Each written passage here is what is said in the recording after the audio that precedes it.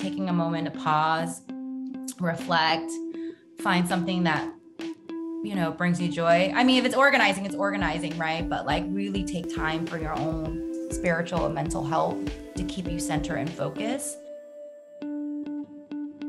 I'm Tracy Lovejoy.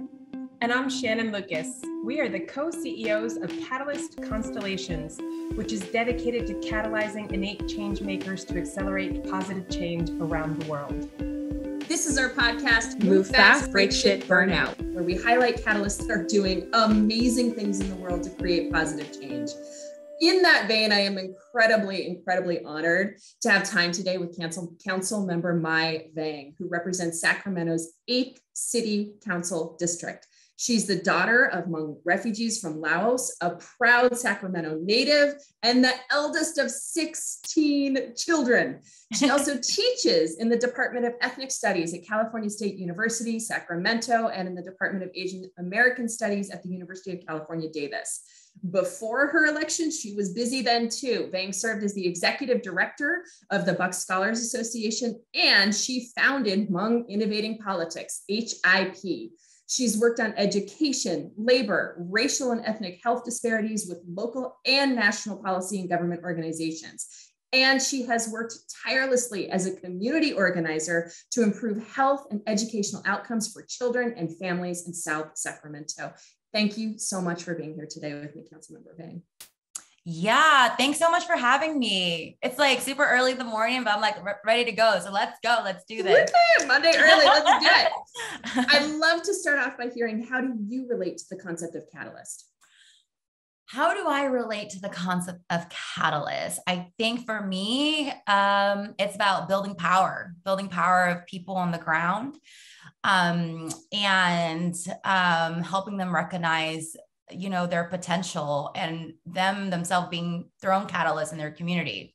Um now that you've asked that yeah like that that's pretty much it for me. It's about building building building power on the ground for me. So yeah. And when i got to chat with you earlier you mentioned like since your earliest toddler days this is something that that resonates for you. So i'd love uh, to just hear a little bit more yeah, you know, my two earliest memory as a kid, um, two earliest, if I close my eyes and think about the two earliest memory I can think of in terms of my childhood. One is um, in our low income one bedroom apartment, uh, dancing in the living room with the sun beaming on my face. And the second memory is walking to the refrigerator to grab a bottle of milk for my mom to feed my little brother, uh, to feed my little sister.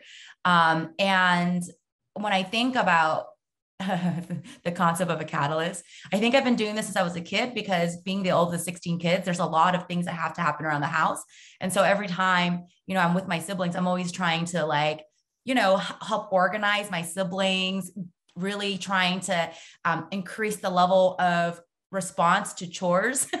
so, right, like I've been doing that, taking care of my siblings. And so, um, yeah, I feel like it is part of kind of who I am um, building the power of people and building the power of my siblings so that I don't have to do one chore alone because there's so many of us um, that as a team, uh, you know, uh, many hands make um, work very light, right? So that's really important. So I would say, yeah, I think being the oldest of 16, I learned at a really young age um, the idea of collectivism, but um, also, you know, being a catalyst um, in terms of um, getting people to um, really um, respond to their own needs, right? So, yeah. yeah. I love it because it's not just the catalyzing toward positive change, but it's the catalyzing others mm-hmm. toward positive change, that mm-hmm. collectivism. That's beautiful. Thank you for sharing those memories. Yeah. I'd love to hear what is it that you're catalyzing these days? Can you set a little context for us on what's, you know, kind of top of mind for you and how are you a catalyst within it? Yeah, you know, um, as a city council member, there are so many issues facing the city. Everything from lack of housing uh, to, um, you know, uh, public safety, um, to um, the homeless crisis that we see on our street. Um, and when I was elected as councilwoman, I also entered the pandemic. And um, one of the biggest thing that I focused on um, was really COVID recovery. Um, I represent a district that actually has the largest cases of COVID, not just in the city, but in the county. And there's multiple reasons why I represent a community that's incredibly diverse, low income. Um, I represent District 8, which is the southern part of the city of Sacramento, South South Park. So when you say South Sacramento, that's my district. Um, and there's multiple reasons why our district had the highest case of COVID. One, uh, during the pandemic, many of the folks that uh, lived in our my neighborhood my district were essential workers. And so while some folks may have the luxury of working from home uh, online on zoom uh, many of the folks in my neighborhoods didn't because they were essential workers. The other piece is um, you know as i come from a really large family and many of our families are incredibly diverse but also live in multi-generational household big family. So when one person's infected with COVID, you can imagine I'm the oldest 16 kids, and if we all live together, if one person's infected, it spreads to entire family. And that's the reason why uh, cases were so high uh, in, in my district, low income communities of color. Um, and so COVID recovery was one of my top priorities. And I remember the first time, now there's vaccines, but back then vaccines were golden, right? It was really hard to actually get the vaccine. I think there was a time back last year when um, you know they were doing it in phases right first our seniors right because you know uh, vaccines were slowly rolling out, but not enough. And so we had to do it in phases. And I remember um, when the first phase of vaccine came out, um, they were uh, giving out vaccinations in the wealthier neighborhood up in Natomas. Um, even though I had the largest cases of COVID uh, in the city and in the county, we didn't start here in South Sacramento. And so, um, as a community organizer, I also learned very quickly one, I am an elected, but the power of organizing people to put pressure, political pressure on jurisdiction that maybe oversaw vaccinations like the county for example the city doesn't oversee that because we're municipal so we you know handle the streets uh, you know public safety parks but the county you know they oversee health and human services. And so about 20 plus organization well started with like one or two key organizations you know, we, I got on a phone calls and they were like, you know, on the phone actually crying because their seniors couldn't access the vaccine. And I was like, you know, I'm not a, I'm a city councilwoman. I'm not a supervisor, right? Technically, they, you know, folks will argue that health isn't within my realm, but I have a public health background. For me, every policy is health policy. And so I said, you know, let's organize. You guys push on your end outside, and I will do everything I can to secure a community center and lock in those vaccines. And I remember the first time I was able to actually lock in 1,000 vaccine. And that was like golden, right? And then I had like community organizations, everyone fighting for a vaccine. And I brought the community together and said, look, I have a thousand vaccines. I'm going to let you all decide how you want to allocate this. And we sat in a Zoom meeting, talked it through, and we were able to allocate the thousand basically to various community groups that represented underrepresented communities. And it's not a coincidence that when we look at our vaccination clinic, our first vaccination clinic 90% were communities of color, with 50% of the participant coming in not speaking English. I mean, those numbers look very different from the other clinics that um, were rolled out. Right. And there's a reason why, because we were very intentional about the people that we were outreaching to, um, uh, limited English proficient uh, members in our community, um, 20 organizations that came together all volunteer uh, ran. It was a people powered clinic literally for a year every friday i was out there hustling registering voters uh, registering not reg- registering voters register we also had people they wanted to vote as well registering folks um, for the clinic uh, and I remember just doing translation as a councilwoman. Um, and folks didn't know that I was a councilwoman. They also thought I was just a volunteer, right? And they were like, wow, that's so cool that Councilman Vang is putting this on. And I'm like over here, like registering people. And I'm like, they're like, oh, this is the councilwoman. I was like, oh, hi, nice to meet you. Like, you're working a clinic. I'm like, yeah, absolutely. Every Friday I'm here. I'm here because I, I truly believe that the team and the volunteer will only work as hard as the candidate or the elected. I think that's really, really important. So I'm always on the ground hustling with my team. oftentimes I get uh, mistaken as the staffer of the councilwoman. so, so, which is fine, you know, because uh, I'd rather be mistaken as the staffer anyway. So that's just, that's kind of who I am. So very hands on. And so it sounds like, of course, health, especially different the, during the pandemic, was top of mind. Mm-hmm. Uh, and it wasn't just gaining the access to vaccines, it was organizing communities within your uh, district so that the pressure could get put on. And mm-hmm. then once you had enough, it wasn't enough for everybody. Mm-hmm. So it was organizing them into decision making mm-hmm. that could best support the community. Yeah, no, absolutely. And then when we were able to launch that first pop, it was a pop-up clinic and other electeds came from the county and other health industry came and they were like, how were you able to do this? Right. I was like, I didn't do it. It was the community that did it. It was 20 organization from our coalition, Sacramento Alliance for Vaccine Equity right? The Black churches, Southeast Asian community groups, La Familia, that, were, that really fought hard for the Latino community. I mean, it was 22 organizations that came together, work. And now we actually meet every Tuesday, weekly to provide updates about, um, you know, just COVID cases, um, information about what's happening in the community. So it's kind of become a hub of information sharing about what's happening. And it actually helps me, again, like there are my eyes and ears on the ground about what's happening on the ground. Because um, there's only so many places that I could go to, so many constituent and people I can speak with, right? Um, and so now we've pivoted and we meet every every Tuesday at nine o'clock in the morning, um, strategizing and re strategizing how to serve our community because things are always changing very, very quickly. Yeah, I, I understand what you're saying that you didn't do the work. I imagine as other communities look for best practices, though, having that central catalyst that organized the organization was was critical. Yeah, yeah. And it's crazy too, because I was like, now as a councilwoman, like when they saw that clinic, like um um the dollars started coming in. They're like, how can we support this clinic?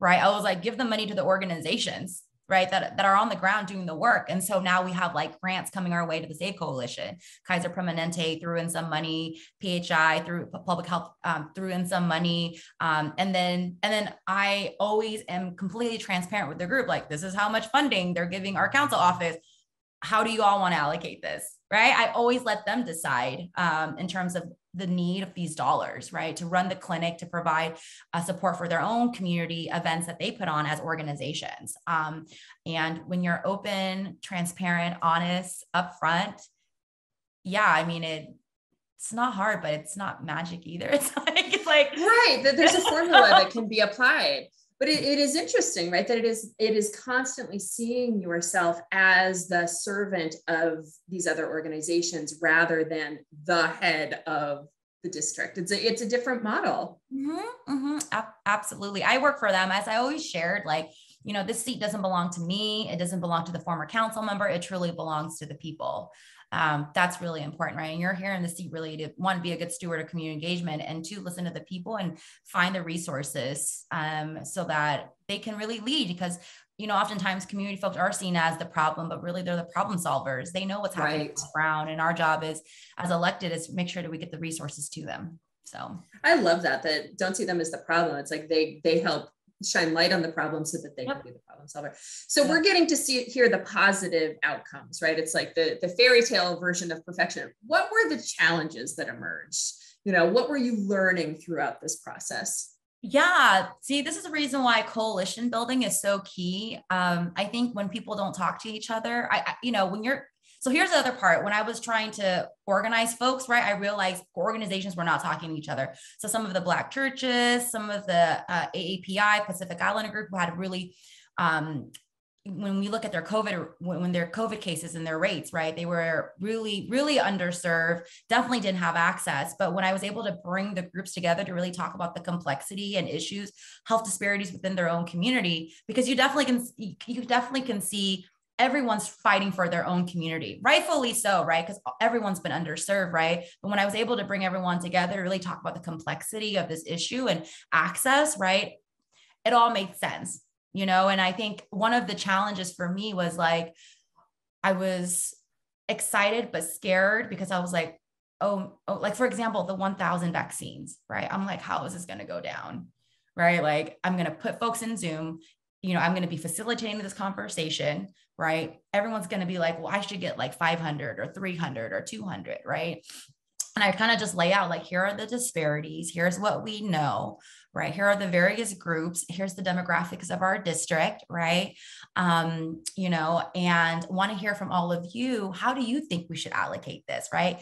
Really brainstorming. And then we all consensus based on our conversation, everyone really advocating for their communities, it came to a solution, right? And it was just so beautiful, right? When you're just honest, upfront, and maybe a part of it is like being able to help facilitate too so that conversation but it was kind of challenging at first right um, because you definitely had certain groups saying well so and so usually they get access and then that group would say we never have access right? And i'm like trying to find a common ground with different groups and realizing like they're not even hearing each other. They don't even know you know the inequities happening within their own communities. I'm going to bring them together because really we're all fighting for crumbs right now. And literally 1000 vaccines sounds like a lot but it's really not a lot right for our first pop-up vaccination. So when I was able to bring folks together. And you know what's crazy is that when we did different allocations, um, you know, I also said to folks, you know, you can't reach your 200 goal. We're going to check in like the next day, right? And we're going to pivot. Like if you can't reach that number, you know, because the thing is the vaccine has to be used on site. Once they're open, they have to be used, right? And so every group was like shuffling the vaccines, right? Like saying, "Hey, we didn't reach our numbers, you know, um, you know, hip, would you would you like these these extra vaccines we weren't able to hit our target right we did we did the calling we did all of that and so everyone was just like working together to make sure that we vaccinated our community right and so it was just like a really beautiful thing but it was also challenging at first because i think folks didn't really understand um, some of the issues and the struggles within their own within other communities right? It was really important to to have them all hear each other out so. That's really interesting that even though your core philosophy is to create positive change through others the key challenge is recognizing that when you bring others together there will be misunderstandings. Mm-hmm. there will be you know beliefs that are wrong. And so your role as a facilitator of that conversation becomes really important. Yeah, because the other piece I move really fast, right? So for me, it's like get the vaccine, get the Pannell Center, you know. I think as an organizer, right? This has to be a people powered campaign. I don't got money to pay folks. We got to get folks vaccinated. The community is passionate. They say, give us a vaccine. So I just move quick, right? And then I'm like, oh, snaps. Now that I have the vaccines, okay, how are we going to do this? right? like I got 20 plus organizations that right that are working with seniors, right? So it's like then that's like the I wouldn't say like a downside, but it's like a delta, like areas of improvement, right? Like, okay, slow down, my now that you got this, like here's a challenge, you know? So as a catalyst, I move really fast, but then you also have to be very intentional, right? When you mm-hmm. As you're moving, you have to be intentional because you could lose people along the way. And I don't, that's the last thing I want to do is like as you're moving folks, you also don't want to lose people um, because I don't, I actually think that's harmful to the movement, right? Because you want to bring people along, right? So it's yeah. a perfect transition for us into our rapid fire questions. And the first one being, you know, if we, if you could go back and visit your 20 year old self, what advice would you like to give her as a catalyst as she's beginning on this journey? Or said another way, what are the actionable nuggets that you can hand out to the catalysts out there?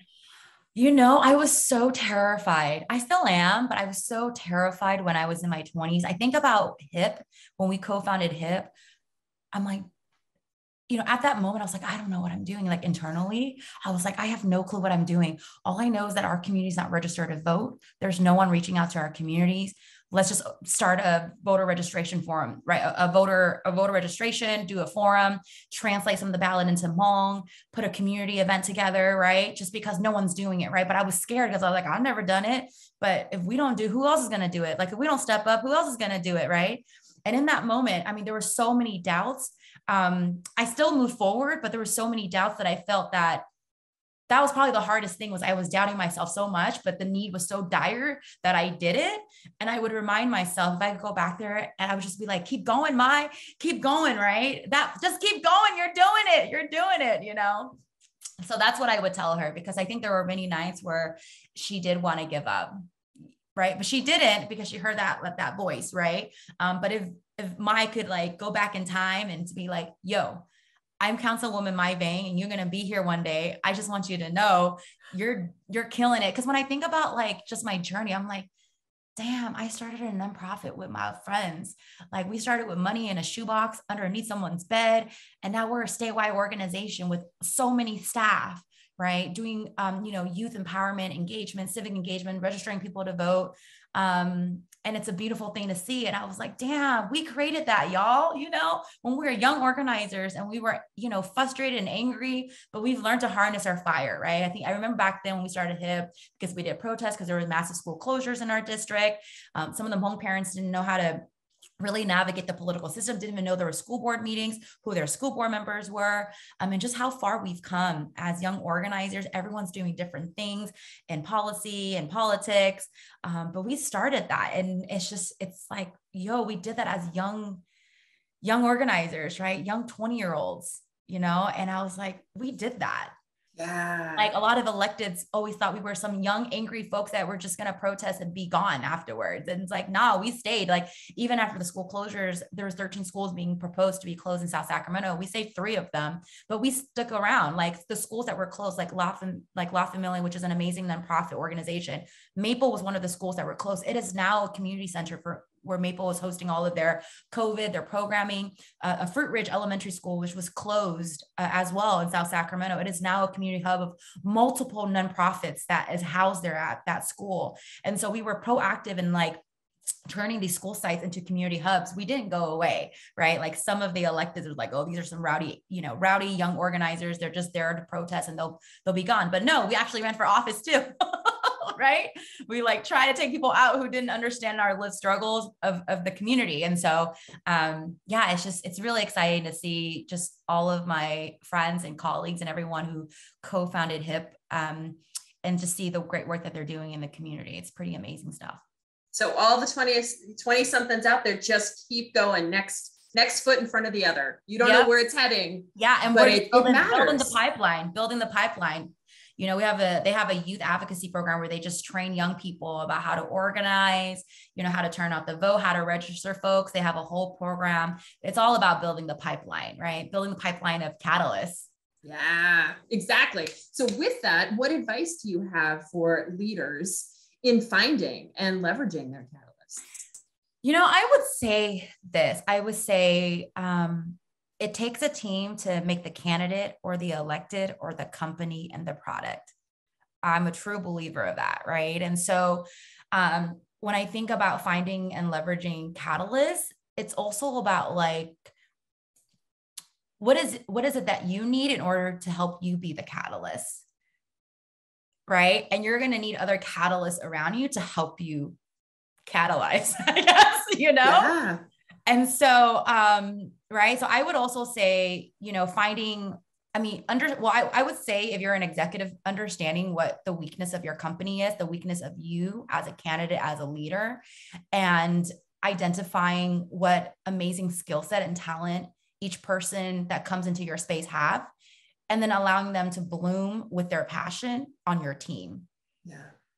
Because they will become a catalyst based on their passion and they're also supporting you know um, your collective agenda right i mean i've i've mm-hmm. learned that like definitely that i have uh, blind spots and um, it's so important to make sure that um, i surround myself with other catalysts that um, has a strength and a passion and where I'm weak at, right? Because that's what their strength is, but they're hella good at it, right? And you watch them go and just like go, go, go, right? And so I, for me, and it's also about building the type of your team too, right?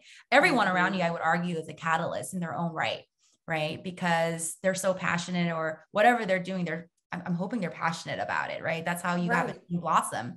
Um, and so I would always say, think about building your team, but thinking about your own kind of blind spots in your company as an elected, as a leader, and then um, really plugging folks in that has that passion, that skill set, and then watching them do their magic. And they are a catalyst within their own right, right? Um, I love um, it. Mm-hmm. So, what's the worst part about being a catalyst? I think I, I, you know, now that I'm reflecting on it and just our conversation is that we move hella fast. Right. we move hella fast, like hella fast. Um, and trying to be intentional during that process sometimes is really hard because you already see the vision. Like for me, I do see it, but I'm like, okay, let's go, go, go.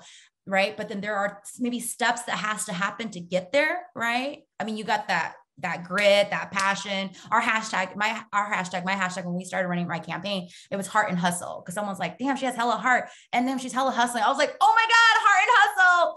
That's our hashtag. Um, but in that, like um, making sure you have intention and purpose because you can have hella passion, right? And you can have hella hustle, like you're working all the grinding all the time, but there's got to be intentionality and purpose behind it, right? And so I think one of the downside of being a catalyst, is like you have to always make sure you're always being intentional about how you move. Mm-hmm. Um, that's really key because you could just keep going and without forgetting that part, right? Like, why did I do this again? Like, what was the purpose? You know? Um, so yeah. and it sounds like you're very good at communicating that to the organizations you're bringing together, to your team, that there's a like a repeat cycle that you do of this is what we're here to achieve. Mm-hmm.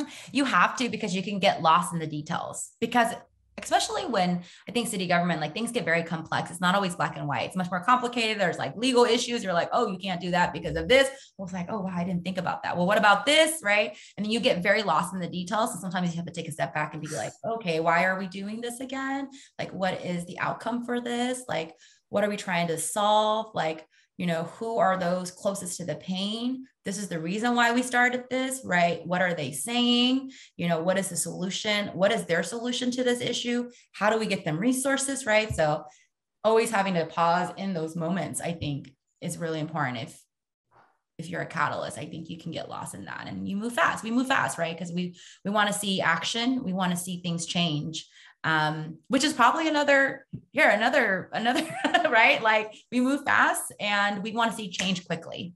Yes. Right. So what's the best part of being a catalyst then? Wow. The best part is like seeing community and people find their own power. That's the best part. That's like hella fulfilling for me, hella joy for me is when I see community folks just killing it, like, like winning, you know? Um, yeah, that's the part. Like, yeah. That's, yeah, that's the best part about being Cali, just seeing people, seeing people like find their own power and just doing it. It's yeah. super rewarding, isn't it? Mm-hmm. When that thing that you've been visioning like comes into being, and it's bigger than you at that point when you see Absolutely. the community killing it. Absolutely, yeah, yeah. So as we wrap up today, Councilmember Vang, what is your call to action that you'd like to list, leave for our listeners?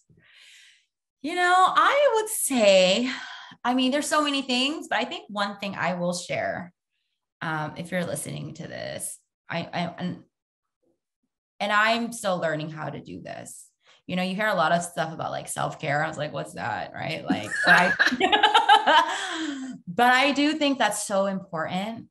Um, really, really important as my dog is laying right here doing some self-care. See, she's just chilling right here. See, yeah. Hello. I yeah, I really do think like taking a moment to pause, reflect, find something that you know brings you joy. I mean, if it's organizing, it's organizing, right? But like really take time for your own spiritual and mental health to keep you center and focus. Like that would be my call to action because um there are a lot of needs in our community, a lot of challenges, and um, change isn't going to happen overnight. It will happen for sure, uh, but we need each and every one of you in this fight, um, and we can't do it alone. And so we need you, which means that you got to take care of yourself. You really have to take care of yourself. And so, you know, my call to action would be for each and every one of you who's listening um, to make sure that you make time to take care of yourself because we all need each other um, in the long run to really create a better world for the ones we love and for our community. So that's my call to action to all of y'all. I love it. We have a, a saying that we frequently repeat that a burned out catalyst makes no change at all. Oh, it's true. Yeah. Right. Yeah. If you if yeah. you aren't taking care of yourself, how do you have the energy to connect and to continue to do the amazing work that needs to be done? Absolutely. So thank you. Thank you for that call. And thank you so much for being here with me today. Yeah, yeah. It's lots of fun. Lots of fun. So I am excited to continue to watch how you transform and catalyze Sacramento's South, South, South. Yes. City Council District. Let's go. Let's go. And to our audience, thank you so much for listening. If you'd like to learn more about how to accelerate positive change, go to our website at www.catalystconstellations.com and be sure to check out our book, Move Fast, Break Shit, Burn Out. If you have other catalysts in your life, hit the share button and send a link their way.